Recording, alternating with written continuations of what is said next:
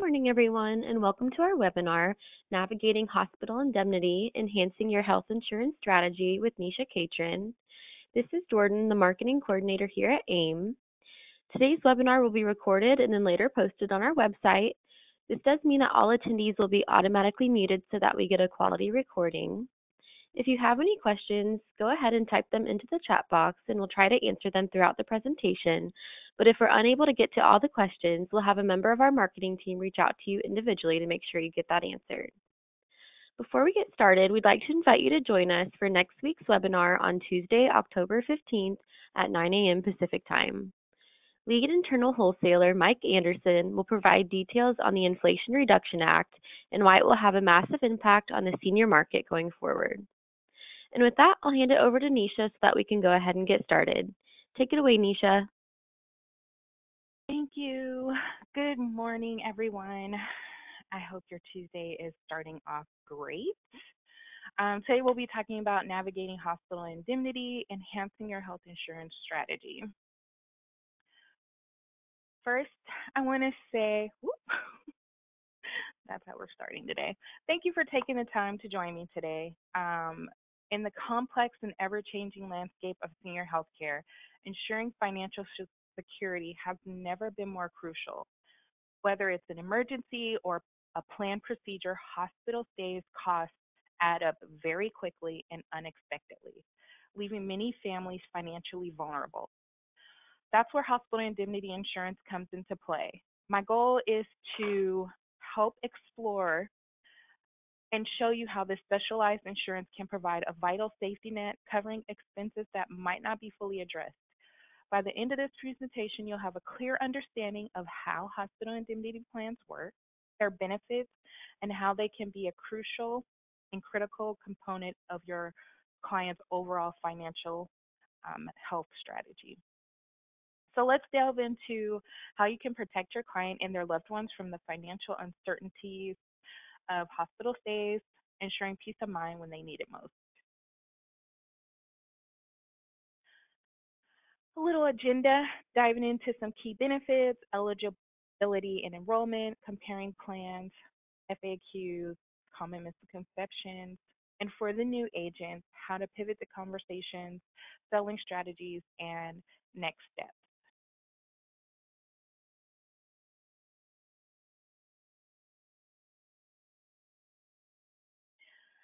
Hospital stays for clients can be overwhelming and stressful, not only for their health, but for their wallet. Even with them having other medical insurance, some costs may not be covered. Unexpected healthcare costs can damage a client's financial situation. Research has found that healthcare costs have caused serious financial problems for patients over the last few years. 44% have had to set up a payment plan with their hospital or healthcare professional, 42% spent all or the majority of, of their savings on medical expenses. Hospital indemnity plans can provide your client with peace of mind by protecting their savings from unexpected hospital costs and high out of pocket costs. It complements their existing health insurance by giving them cash to help with costs those plans do not cover. Besides day one coverage, it allows the client the flexibility to maximize days of coverage, daily benefit options, and several different riders. The client can customize the plan, decide when the benefits are paid to them. With a hospital indemnity plan, there is no deductible, and they can receive payment even if they have other insurance. Guaranteed issue if they're between the ages of 60 and 79 when they sign the application, there is no network of hospitals, so they can choose any hospital they like. Their policy remains in force as long as their premiums are paid on time. Because hospital indemnity is a supplemental insurance and its benefits is a lump sum payment, it pairs well with other plans.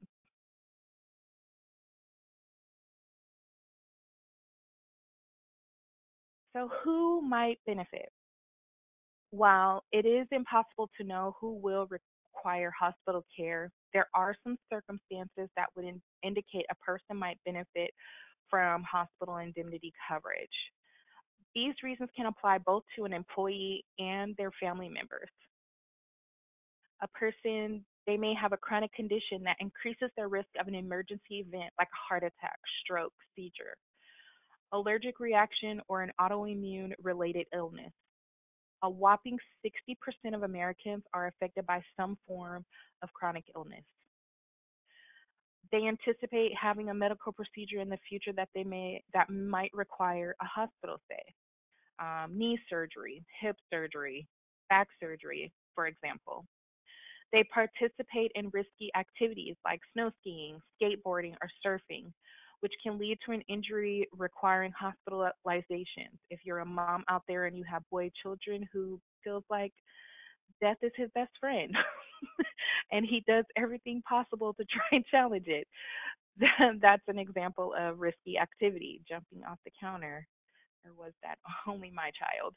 Um, they want to add extra security to protect their family's finances in case of an emergency.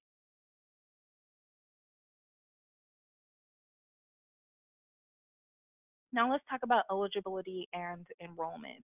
Who is eligible for hospital indemnity insurance?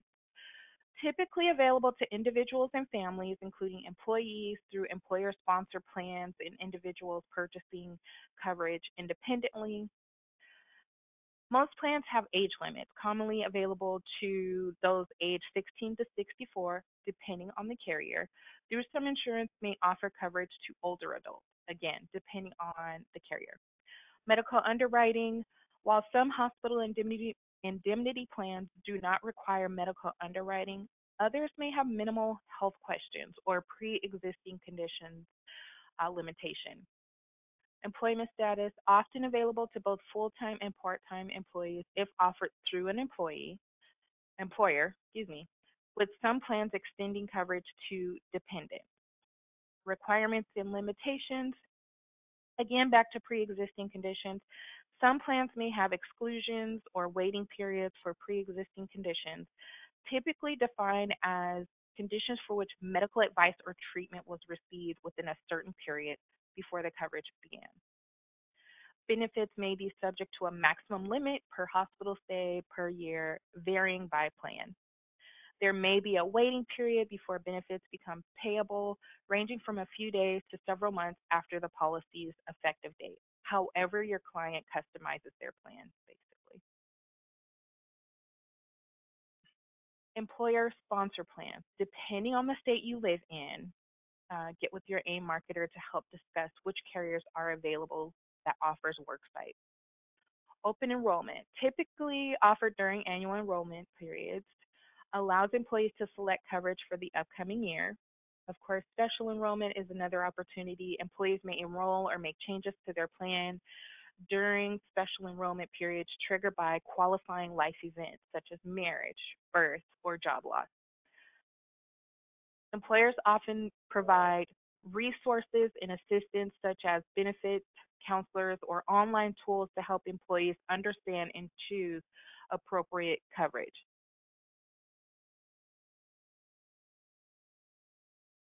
So considerations for choosing a plan. Figuring out and assessing personal and family health care needs, considering factors like age, health status, and financial situation evaluate the fixed cash benefits offered, and ensure they are sufficient to cover potential expenses. Compare premiums and out of pocket costs to ensure the plan fits within the budget. Consider additional features such as portability, which allows coverage to continue even if the individual changes jobs, and optional riders for enhanced benefits. Now let's move on to the nitty gritty cancer, whew, starting to become America's uninvited friend. Um, it may not be the first thing that a person thinks about when they're diagnosed with cancer, but the cost of treatment is very expensive, even for people with government insurance like Medicare or Medicaid.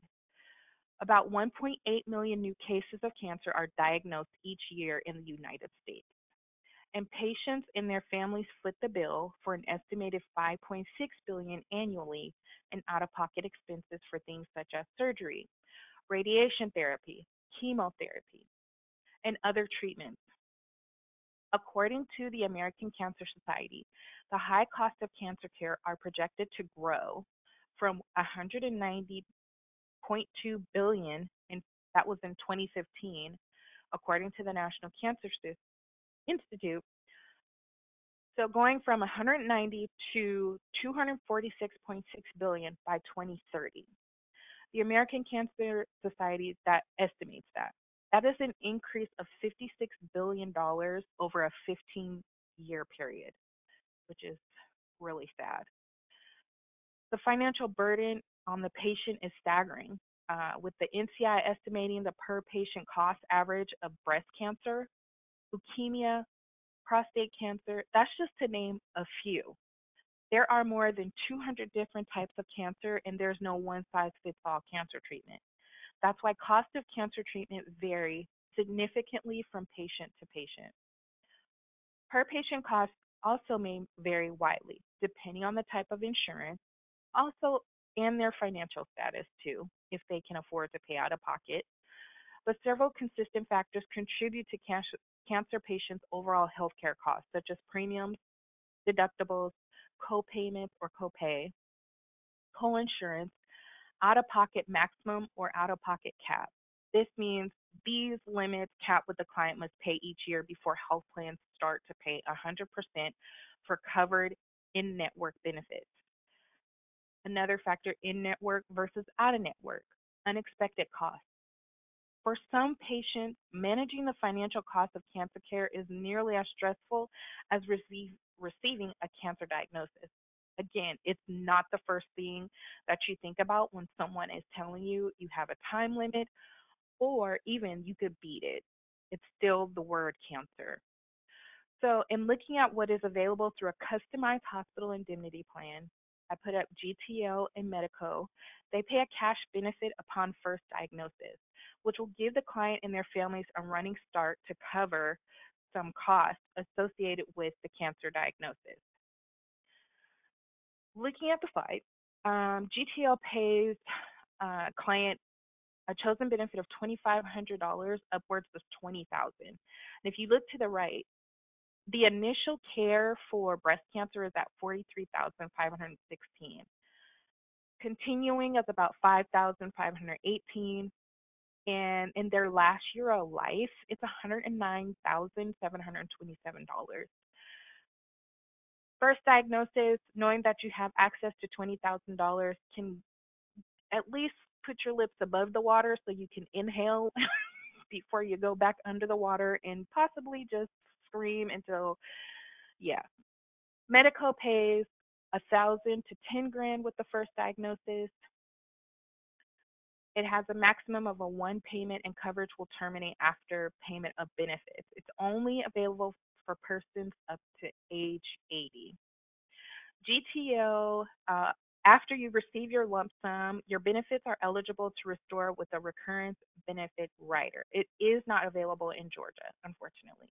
But taking a look at the cost of breast cancer, leukemia, and prostate cancer, the initial care and continuing care and end of life care. It may not be a, a lot, but just unknowing that there's something that can help offset that out of pocket cost um, can bring some relief. So, going into comparing each plan, we're going to start with GTL. On the on the left side, we have um, Cigna Preferred Savings, Medicare, HMO. Basically, what is uh, offered through uh, Med Med Advantage plan. You have inpatient hospital to $320 a day for one to five days, zero days for 60 to 90. A GTL hospital indemnity plan matching a six day benefit. It's about $30 more um, a day. And then just in looking at comparing having this supplemental insurance to help offset the cost difference, um, they have an additional $20 for the hospital confinement. Outpatient, uh, the copay is zero to 350. GTL offers $500. Skilled nursing facility, you're looking at $100, $100 a day. In addition, if you want another option of $210 a day. emergency room or urgent care, ambulance. Taking an ambulance ride now with insurance is about 250 to $1,500 either advanced life support or basic life support. Without insurance, it's $500 to $3,500. GTL, their base benefits kick in after six hours. No hospital stay required for emergency room benefits. Affordable rates. Their rates don't increase as you age. Simplify underwriting with instant approval. Guaranteed issue ages 64 and a half to 70. And then they have riders skilled nursing facility, ambulance, outpatient therapy. Manhattan Life. Again, I took a different uh, carrier, Aetna Medicare Eagle Plan. Aetna, Aetna, we can all tomato, tomato. um, looking at their hospital, comparing and looking at the hospital indemnity select plan, same, six day, $450 a day, 64 and a half to 70 guaranteed issue. First day hospital admission benefit $500 per occurrence, up to 16 six times per year, not not 16. Outpatient, uh, you're looking at four $500 per day, payable up to two times per calendar year. Emergency room, $150 per day. This helps um, offset the difference in between 100 from Aetna's uh, emergency care of $120. You have Manhattan Life $150. That's an additional $30 that they can pay on top of uh, their urgent care. Manhattan Life has issue ages 18 to 89, guaranteed renewable for life, again guaranteed issued for 64 and a half to 70. So those now coming into AEP that are turning 65, this is a great guaranteed issue to have. Benefit available immediately, competitive rates. Rates do not rates do not increase as the client ages riders, skilled nursing facility, first day hospital admission, outpatient surgical procedure. And Medico. Another comparison hospital indemnity plan, six day benefit as well. Their issue ages is 18 to 85, restoration of benefits 60 days, no application fee or annual fee, guaranteed issue 60 to 79. There is uh, a 7% discount if they live with another adult. Simplify issue with limited health questions.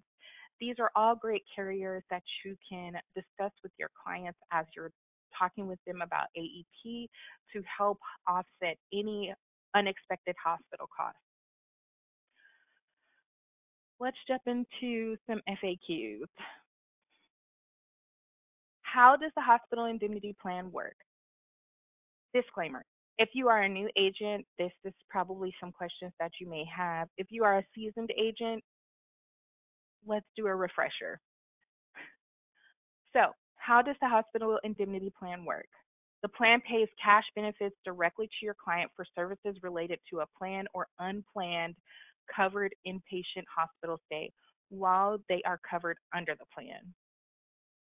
Can they have more than one? No, not allowed to have more than one uh, plan. Is the hospital indemnity plan compatible with the health savings account? Yes. The hospital indemnity plan is compatible with the health savings account. If a person leaves the company, can they keep their coverage? What is the cost and how do they keep go about keeping the plan? So yes, the hospital indemnity plan allows you to keep your existing coverage for the same rate and make direct payments to the carrier. This is a portable portability option. You may exercise this option if the employment ends for any reason other than for gross misconduct. The portability form is in the plan document sections of the member's website. Refer them to Certificate of Coverage for more portability provisions the portability option is not available in New York, shocker, and Vermont. What happens if a covered person dies while covered under the hospital indemnity plan? Benefits will be paid to that the member's beneficiary on file. If one isn't on file, payment will go to their estate. If you have additional questions, please reach out to one of us marketers here at AIM and we'll be happy to assist you further. Some slight misconceptions. I already have enough coverage from my primary insurance. Understandable. One of the most common misconceptions consumers have about supplemental insurance is that it is redundant, considering they already have coverage from their primary health or life insurance policies. However, this belief fails to recognize the unique benefits that supplemental insurance can provide. Unlike primary insurance, which may only cover specific medical expenses or provide a fixed sum in the event of an unfortunate incident, like losing a job. Supplemental insurance complements the existing coverage by filling the gaps that may be left behind. A person can go undergo treatment for a critical illness that may substantial that, may have substantial expenses not fully covered by their primary insurance. Supplemental insurance can step in, provide additional financial support for expenses, filling the gaps, such as travel, accommodation during treatment, and other expenses. When you're marketing supplemental insurance, clarifying this misconception will clear up marketing messages. Marketing messages can emphasize how supplemental insurance serves as an extra layer of coverage, ensuring comprehensive coverage and peace of mind and the portability of it. Misconception number two the insurance is expensive and not worth the, the cost. Um, this often hinders consumers from considering the insurance. Um, the perception is that it's unnecessarily expensive. It is important for financial institutions to communicate the various options available and highlight the potential long term savings and benefits of enrolling in supplemental insurance. The key is to dispel the myths, the lies, in educating that consumer about the potential financial burden they might face in the absence of adequate coverage. I going back to cancer and the cost of the, fix, the 56 billion increase that'll occur over the next 15 years. You can help them understand a relatively small premium for supplemental insurance can help safeguard them from unexpected expenses, comparing the cost of supplemental insurance to to the potential financial ramifications of being underinsured can be a persuasive approach to demonstrate its value. It's only for seniors or unhealthy individuals. Mind you, going back to Medico in Manhattan, they start as low as age 18. This misconception stems from a lack of awareness about the about the diverse range of supplemental insurance products available today in the market. When you're talking with your clients, it's important to highlight the inclusive nature of supplemental insurance, catering to people of all ages and health statuses, from hospital accident insurance that covers hospital hospitalization after covered injuries to recuperative care, insurance that helps with costs associated with recuperating after a covered accident or injury. These plans are tailored to suit various needs and lifestyles. It's not just group accident and sickness coverage either. By clarifying the misconception that supplemental insurance isn't meant for the young and healthy, you should be in a position to educate people that these products are versatile and valuable financial wellness tools. Misconception number four. Filing claims for supplemental insurance is complicated and time consuming. A common deterrent for consumers when considering supplemental insurance is the misconception that filing claims and receiving benefits can be a cumbersome process. You can help them understand this fear by working with an administrator that provides consumers with a seamless and simple registration, account management, and claims experience. A lot of carriers have uh, patient portals that they can access via app or web. So that'll allow them to handle their account on their own. They should be able to speak directly to an expert customer service representative as well who can help them guide through the website any additional needs, or you could be that person if you are familiar with the portal as well. So by addressing these misconceptions, financial institutions can showcase their commitment to customer satisfaction, making supplemental insurance an attractive choice for those seeking hassle-free protection.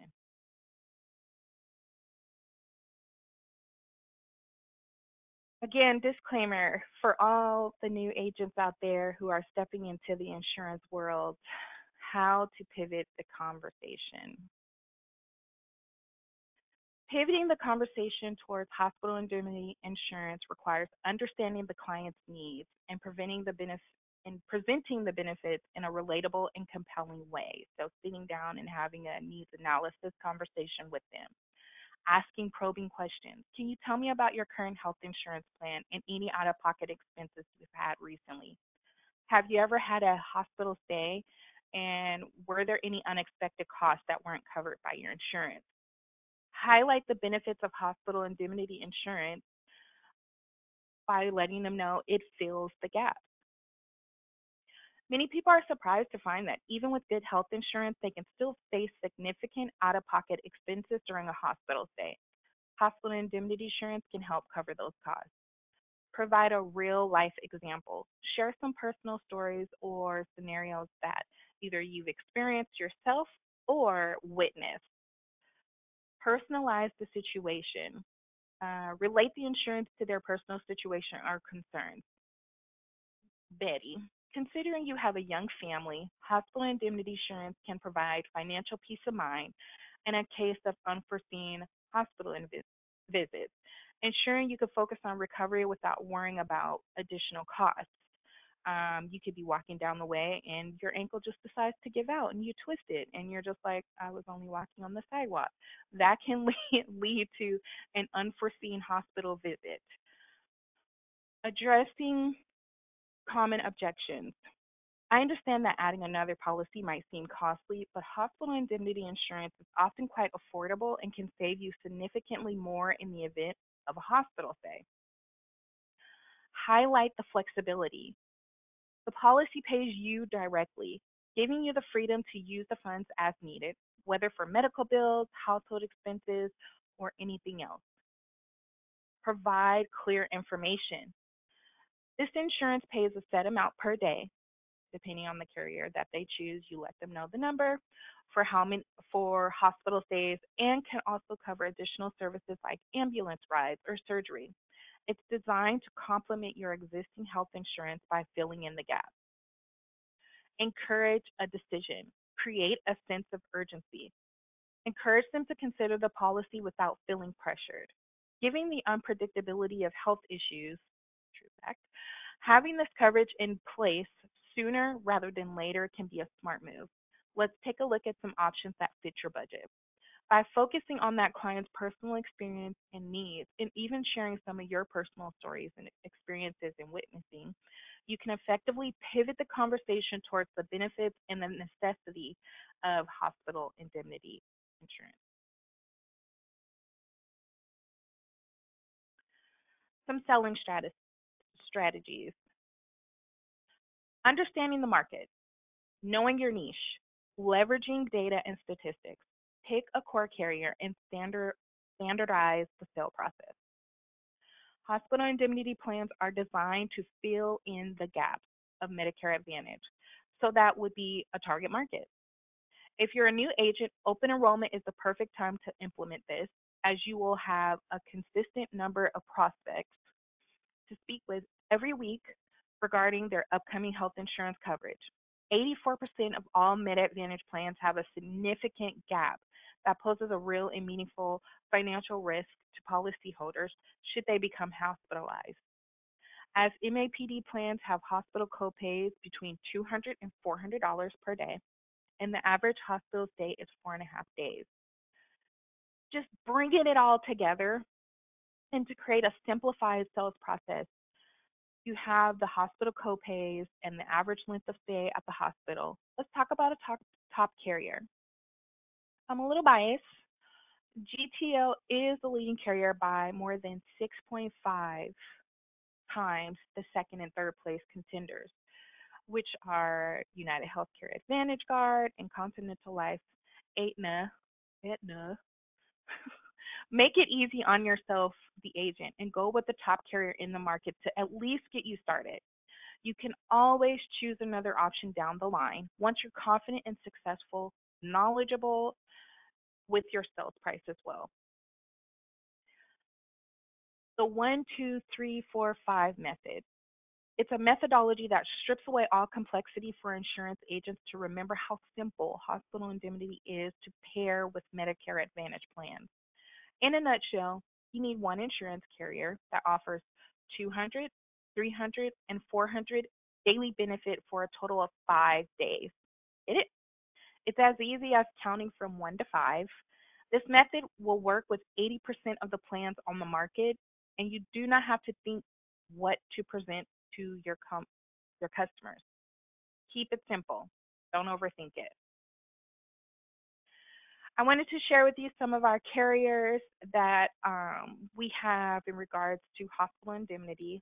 There's my good old best friend, Aetna. Allstate, Bankers, Fidelity, Liberty Bankers, Heartland National, Cigna, GTL, Life Secure, Manhattan Life, United American, and Wellabe.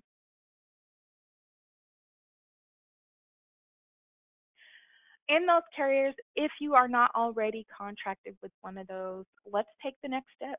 Get contracted. One of the most important things is to make sure you are in compliance with these carriers before you start marketing and selling their products. Speak to your clients. Decide who your first 10 calls are going to be. Begin the conversation. Learn about their needs. And also learn at least one personal thing about your client. That way you can start building that relationship and that trust so that you can make accurate recommendations. Also, honor your commitment. You made time available for this pre- presentation. Thank you. This is your business and you're here because you want it to grow. That only happens if you follow through with the information and your clients. We here at AIM are just as committed to making sure your business grows as you are. Let's talk about money, money, money, money. GTL just started quarter four uh, quarter four bonus program. For applications submitted from October 1st to December 31st, uh, submitted five to 10 applications, you receive $50 per app, keyword per app. 11 to 25, 75 per app, 26 applica- plus applications, $100 per app. I don't know about you, that sounds like a lot to me. I could use some extra grocery money, possibly some gas money, maybe even some Christmas money. If you haven't already contracted with GTL, this is a great opportunity to get contracted with them. They have a great opportunity for you to put a little extra bonus in your, your pocket. They also have increased their claim process to 40% faster. So if a client is speaking to you about the claims process, GTL has made it a point to be 40% faster, which reduces their hospital turnaround time. So they understand that happy, well-informed hospital indemnity client equals improved retention, increased referrals, and increased sales for you. Now it's time to say goodbye. See you real soon. Thank you guys so much for joining me today. I am Kanisha Catron, aka Nisha. You can reach me at the numbers listed, email, website. Also, follow us on social media because that's our new best friend too. If you have any questions, one of the markers will be reaching out to you, or you can give us a call. Thank you again. I hope you guys have an awesome rest of your Tuesday. Bye.